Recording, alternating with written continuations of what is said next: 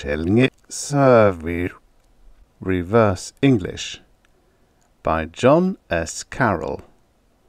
Originally published in Thrilling Wonder Stories, October 1948. Narrated by Tom Trussel. Me, I'm just a radio mechanic. No genius, that is, but handy with a soldering iron. If it's genius you want, take my friend Bill Mara. He's a communications engineer, telephone, radio, or what have you.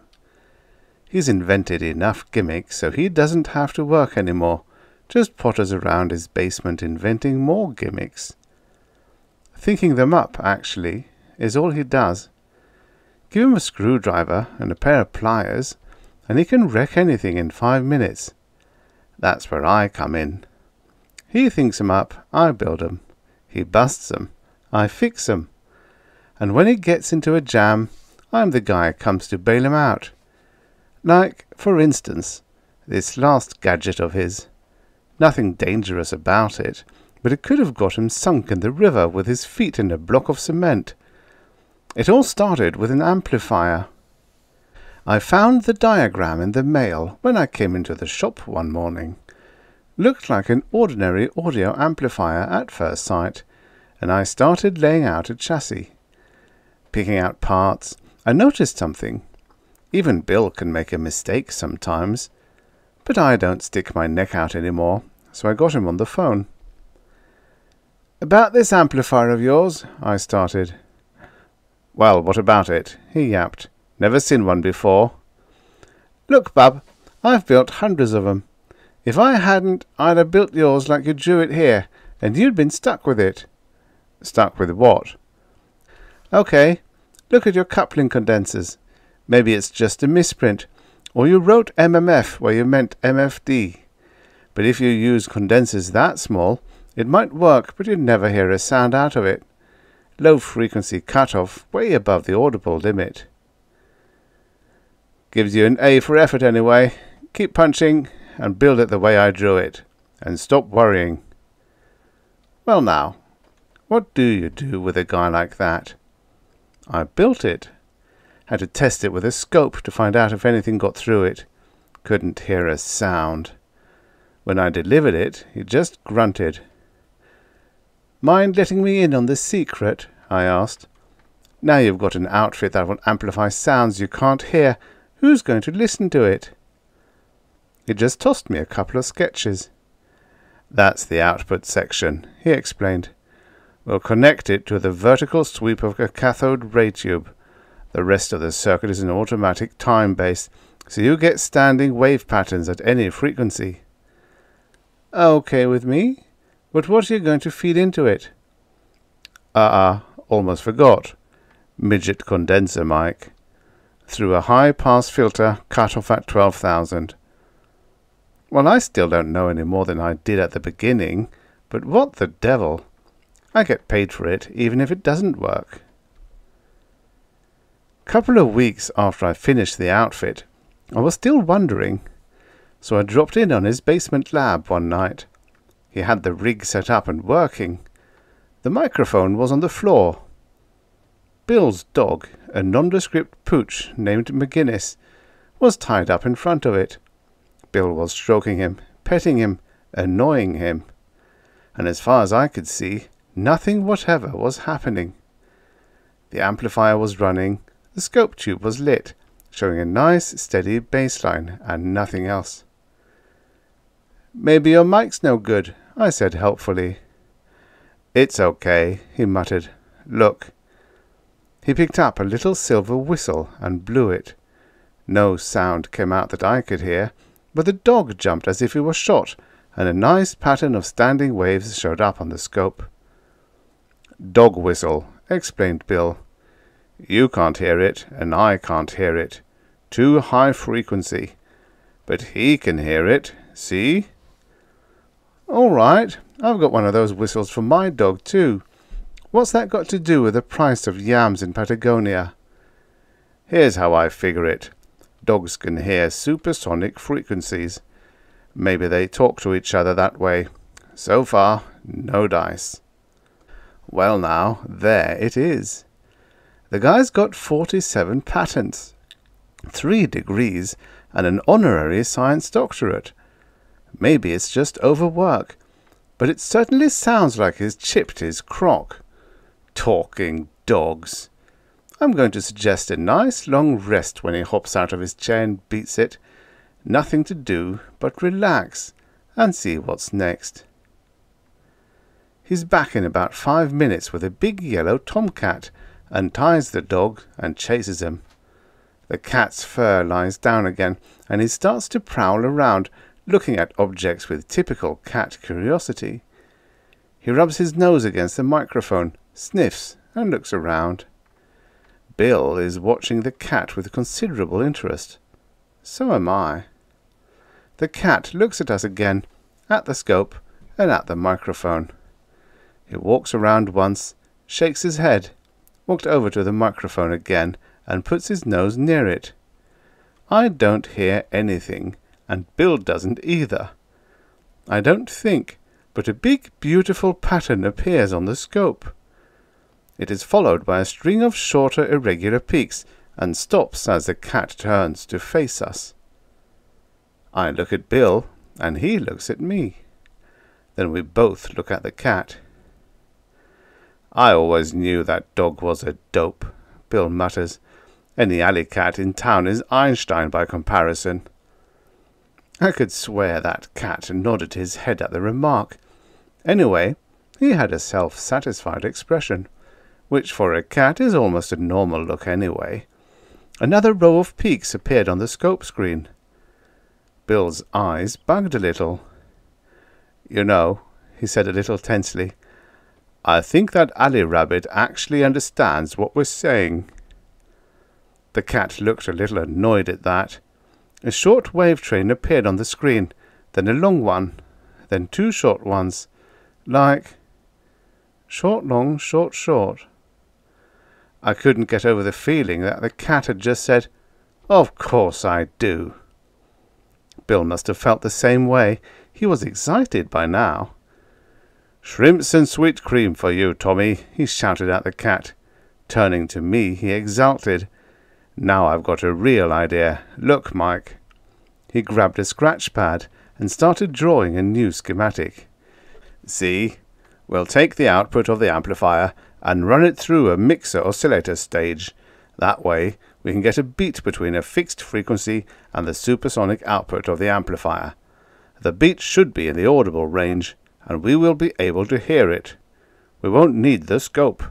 I want to hear what the cat is saying. I started to open my mouth. I closed it. Then I opened it again. I spoke to the cat.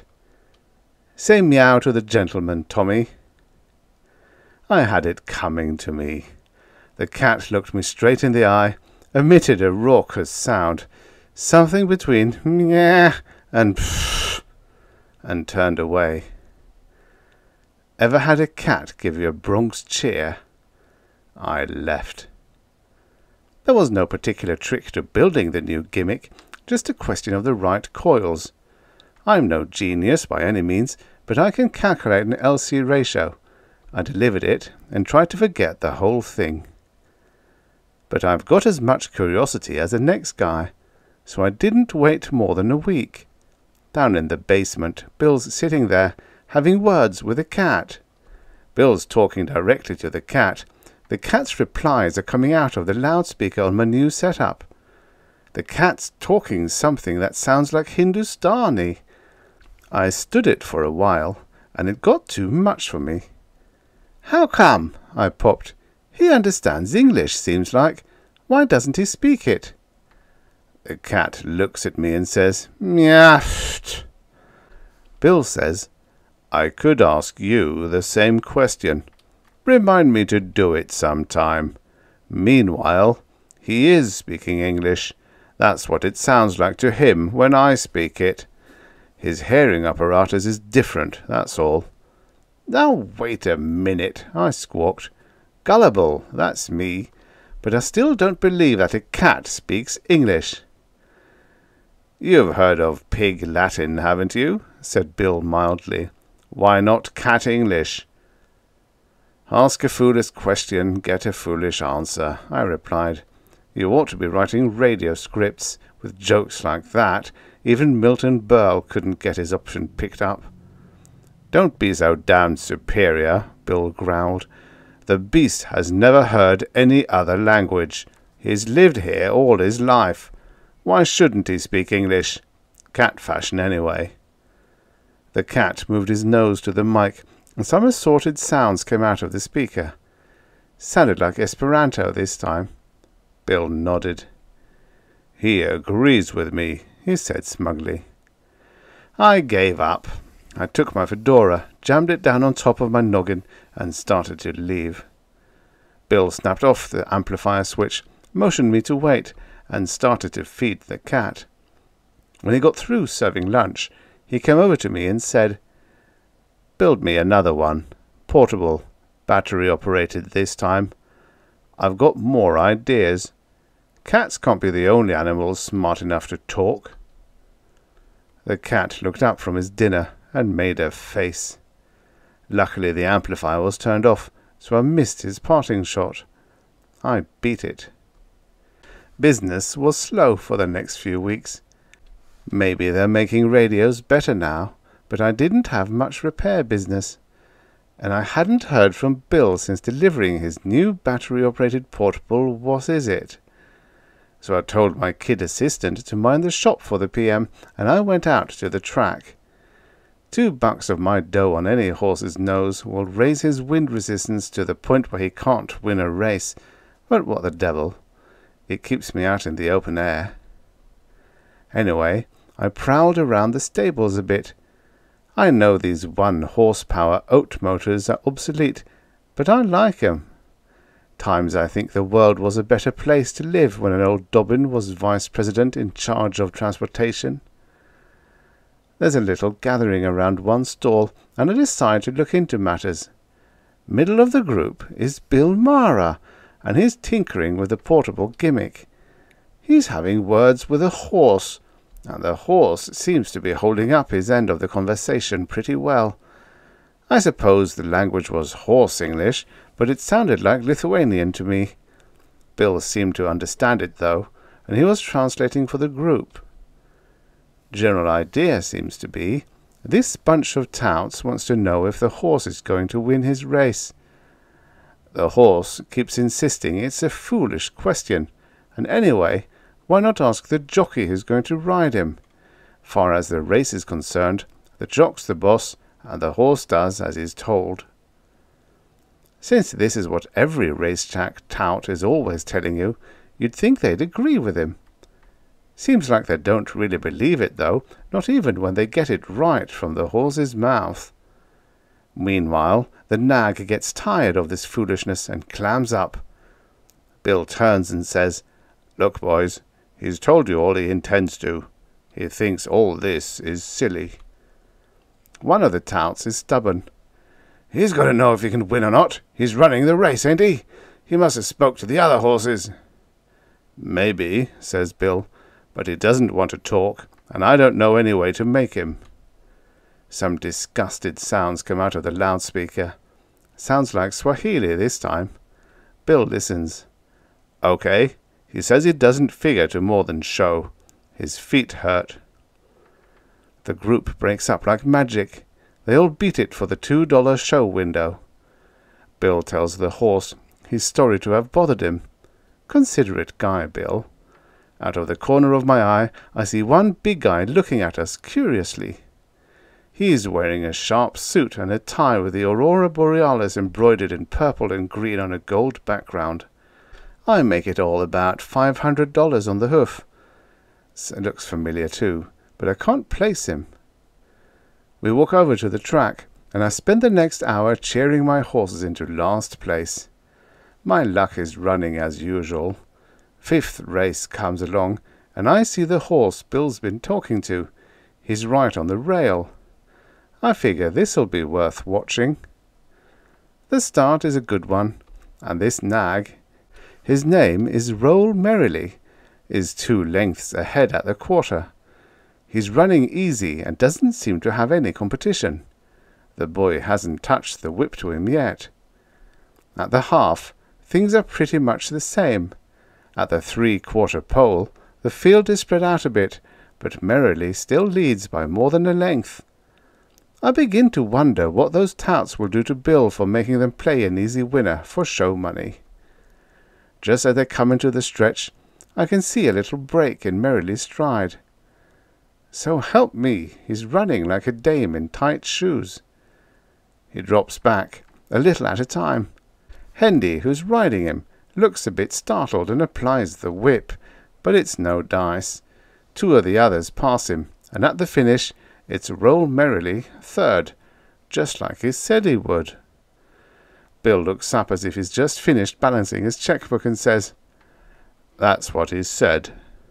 He starts to walk away, as if the experiment was finished and he'd found out all he wanted to know. The big guy who was watching over at the stable walks up to him. I've got a job for you, he says.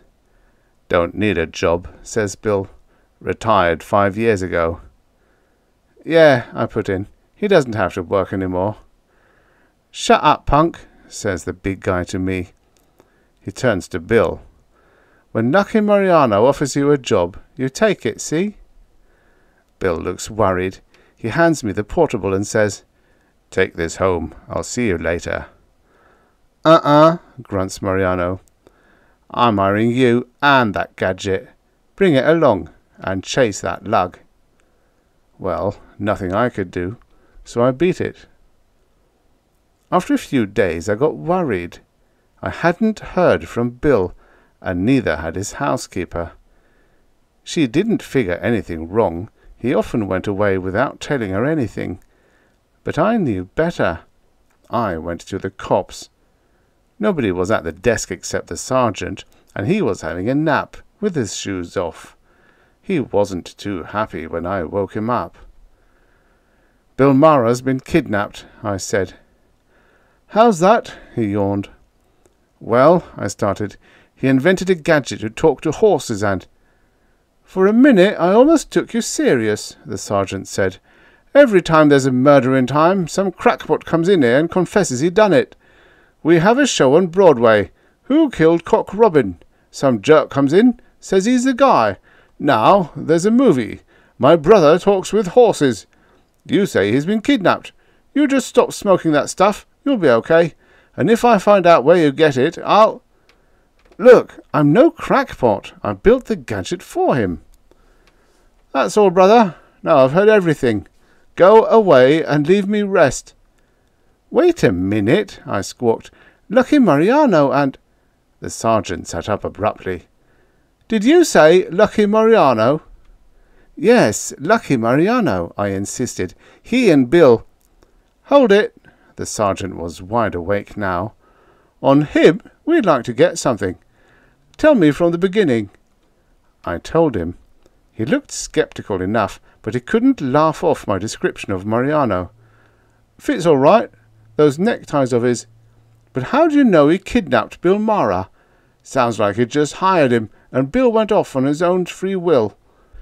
Far as I know, there's no law against talking to horses, not even if Mariano does it. That is, if your pal really can talk with horses, and that still goes down pretty hard. Well, Mariano believes it. I was mad now. But what are you going to do about Bill? Can't see nothing we can do about Bill. Bring us some evidence of a snatch. Maybe the FBI can do something. I left. I wanted to punch that big lug right in the jaw, but punching police sergeants, especially in headquarters, is not good policy. The law frowns upon it. I went back to the shop and tried to do some heavy thinking. It came out all wrong. I didn't know where Bill was. I'm no detective. I've got no gun permit. I weigh one hundred and twenty-four pounds, dripping wet, and a rock in each hand. In short, blanked.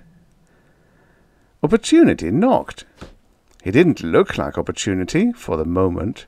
He looked like one of Lucky Mariano's less lovable gunsters. But he was carrying Bill's gadget, and he had a note from Bill. It was short and to the point. Something's popped.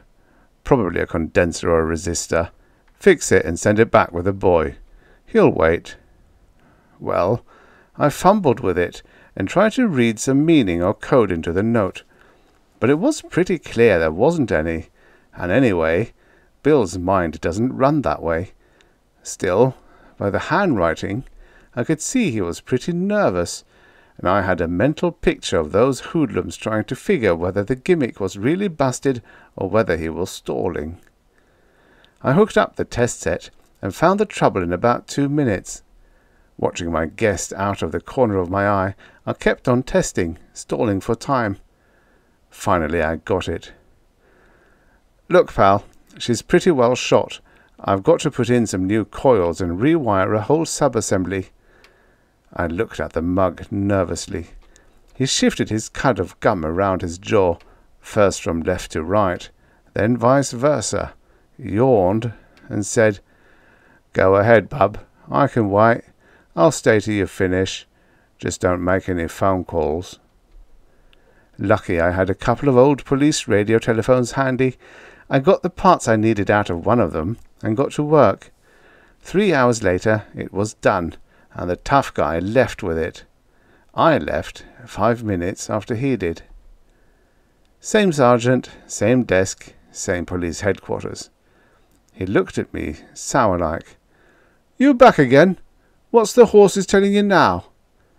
Nothing much, I came back at him, but they'll be talking to you pretty soon. Something new has been added. What's that? I told him about my visitor and the repair job. What I did was add a modulator oscillator power amplifier and a few feet of wire for an antenna coiled around inside the case. So what does that make it? Simple. It makes it a radio transmitter. Not only will he hear what the horses are saying, but anyone in town with a radio tuned to that frequency will too. And where does that get you? The sergeant was still puzzled, but not bored now. Well, I took the filter off the mic too, so not only will it broadcast the horse talk, but anything else that's said around the room as well. Also, I fixed the switch so it shuts off the speaker, while the rest of it keeps running. It'll broadcast all their conversations while they think it's shut off. Yeah, but... The sergeant acted like a professor putting his finger on the nub of a problem. But who is going to be listening? Oh, now it was my turn. That's easy. I tuned the whole thing to police frequency. Every radio patrol car in town will hear it. Dangerous for Mara if they find out, isn't it? The sergeant mused. That's your job now. I was getting mad again. He's entitled to some police protection, isn't he? A cop came in from the hall, picked up the desk phone, and dialed a number. Repair. Send the direction finder car around. Someone's jamming our radio.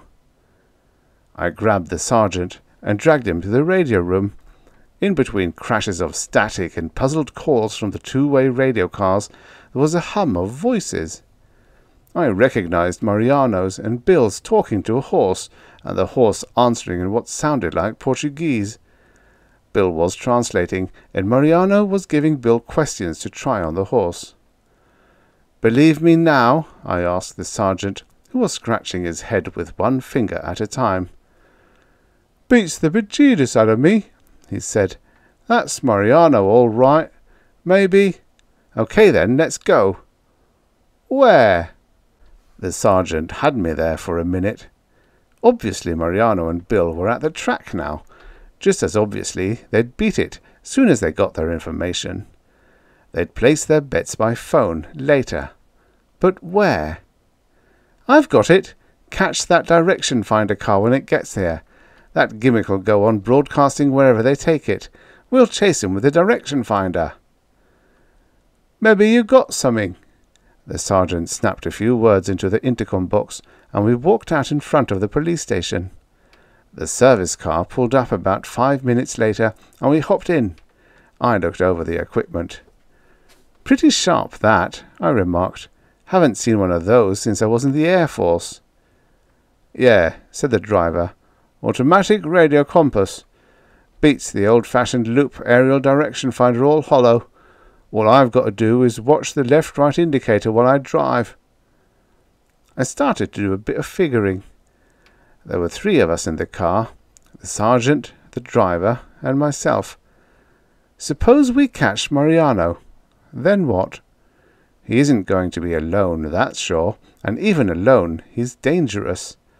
And the other gimmick, the one I hadn't mentioned to the sergeant, it didn't seem to be working yet. Dang, muttered the driver under his breath, and swung the car around. Either we've passed them, or they've passed us on the way back to town. The direction indicator had started to call its left and rights wrong. Now, headed back to town, it was swinging properly again. It didn't make sense to me. Unless Mariano had taken a plane, he couldn't have gotten past us that way. No cars had gone by in the opposite direction in ten minutes. Suddenly I got an idea. I snapped on the loudspeaker. Calling car 25, car 25, signal 34, signal 34, Main and Broadway, Main and Broadway. I knew it. I should have thought of that. The gadget's on the same frequency as the police calls. We're chasing police headquarters now, not Mariano, I shouted disgustedly. Okay, wise guy, this was your idea. What do we do now? said the sergeant. We wait, and we keep the loudspeaker turned on, and we chase Mariano with the radio compass when we hear him. Pretty soon we got another signal from Bill's gadget. The radio compass swung back and forth, finally settled down, and made sense as we headed out of town again. I kept my ear peeled to the radio and my fingers crossed. It's Mariano's voice in the loudspeaker now, getting clearer, so I figure we're getting warm. Okay, Mara, all I need, shut it off and get into the car. I said shut it off. That whistle is driving me nuts. What whistle? It was Bill's voice. That damn peanut whistle coming from your gimmick. Mariano's voice was getting exasperated now. Nothing come out of this that I can hear. Besides, it's shut off. Look for yourself. You trying to tell me I'm nuts? Mariano's voice was dangerous, tight, low-pitched. I hear it, and if you don't stop it, I'll... Well, it seems the other gimmick is working better than I figured. Maybe it'll be Bill's finish too, if we don't get there soon. Seems like I kind of underestimated it, though Mariano's voice comes through again. For the last time, Mara, stop it. Look, I can't even move me hands. That sounds doing things to me. I tell you. Mariano's voice had changed. He was whining now. I'm telling you, the thing is shut off. There's only one switch on it, and the pointer says off. Besides, I don't hear a thing. You must have rocks in your head. My jaw dropped. The big tough Mariano licked my little peanut whistle. Bill, the milk toast genius, talking to the toughest gangster in town like that. Maybe I don't know as much about the ultrasonics as I should. I got nervous. What's your signal strength? I asked the driver.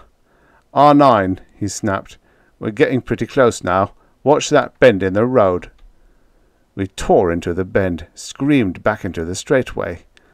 Dead ahead was a big black limousine with slots where the rear window should have been. I'd never seen it before, but I didn't have to. It was Mariano's armoured special. J. Edgar Hoover would have been green with envy. Okay, Sarge, there they are. Your show now. Right. The sergeant fingered his .38 police positive. It was all the armament we had, and not half enough the way I felt. All right, Bobby. The sergeant was a professional cop now, and he knew his business. Pull ahead of them, and I'll wave wave 'em off the road. The mechanic was a little green around the chops, but he had spunk. He kicked the accelerator pedal hard, pulled around Mariano's car, and held his pace. The sergeant waved. Mariano's driver tried to pull ahead, but Bobby could drive a bit, too. He hit the gas and nosed over. Mariano's chauffeur could chance us or the ditch. He made up his mind suddenly and stomped on the brake. We screeched to a stop, and the sergeant hopped out with a gun in his hand. Out, bum! He snapped at the driver. The driver knew a point thirty-eight when he saw one. He hopped. The sergeant handcuffed him and shoved him into the radio car. Yours, Bobby. Take him back to town and jug him. The boys'll get something on him later. We'll ride back in Mariano's car. The sergeant slipped into the driver's seat, with Bill alongside of him. I got in back with Mariano. Mariano cringed in the far left corner of the seat, which didn't make me mad either. The more space between us, the better. I looked at him and the gadget. Bill spoke up from the front seat. What's eating him? he said to nobody in particular. He started to complain about a sort of peanut whistle, and now he acts like he wants to crawl in a hole and pull the hole in after him. I cannot tell a lie, I said. I did it, with my little hatchet. You know, the mixer oscillator in there. Your idea to make the ultrasonic frequencies audible. Yeah, well? Well, to get an audible beat, it has to be tuned within a couple of kilocycles of the ultrasonic frequencies you want to beat it with it. I set it at 14,000 cycles. What's that got to do with Mariano? Well, it struck me funny that he'd swallow your gimmick and the idea of talking with horses. Mariano's a suspicious type, and you'd expect him to think it was a racket of some kind. The sergeant cut in. Yeah, that's how I figured it. I couldn't see the whole thing myself at first, and I couldn't figure Mariano falling for it so easy. Well, you know, most people can't hear a thing above ten or eleven thousand cycles. But occasionally you get someone who can hear all the way to fifteen or sixteen thousand. I figured Mariano's one of them. He must have heard horse talk, but he's no good at languages and couldn't figure what they were saying, that's what he needed Bill for. Okay, now I believe anything. I'll be seeing flying saucers next. But what's this peanut whistle that shrivels him up so? I don't hear any whistle. Right, you don't. I don't, and Bill doesn't. But Mariano does. It's the oscillator. I've fed him some of the 14,000 cycle output into a one-inch permanent magnet speaker. There was more kick to it than I figured, that's all. Mariano looked at me pleadingly. Shut it off, mister. I'll confess to anything, even kidnapping Judge Crater. Only stop that whistle. I felt sorry for the big lug. I reached into the box and yanked out the B battery. Mariano shuddered and straightened up. He reached for his pocket. That dim-witted sergeant had forgotten to frisk him. Mariano leaned forward with an Army .45 in his hand. He stuck it in the sergeant's neck. Now, wise guy, turn around and head for the country. I'll take care of you and your scientific pals all together. Mariano was watching the sergeant. The cop did some quick thinking and suddenly swerved the car. The spin threw Mariano off balance for a second. In that second, I realized that I still had the B battery in my hand. I conked Mariano on the head with three pounds of zinc, carbon, and asphalt. It did the job very nicely. First time, in fact, that a guy ever was knocked cold with an only sixty-seven and one-half volts, though I have to admit, not applied in the usual way. By the time he came to, we had him in the cell. We never did get him on the kidnapping, as it happens. We didn't have much proof of that, and Bill didn't feel like testifying. So they held him as a vagrant while the FBI looked him up, and they found he could be sent to jail for having a poor memory. He'd kept on forgetting that March 15 is Income Tax Day. He can take a correspondence course in the mnemonics at Atlanta. Anyway, I took the whistle and the police transmitter out of Bill's gadget and gave it back to him. I was still puzzled about one thing. Bill was idly thumbing a roll of bills big enough to make Rockefeller envious. How come, I said, that you didn't holler for help right away? Four thousand, forty-five hundred, forty-six hundred, forty-seven hundred. Huh? Oh, why should I? I was doing okay, making a nice bit of change on side bets with Mariano. You mean, I sputtered, you mean you were betting on horses with Mariano and winning? Why not? said Bill. I was translating, wasn't I?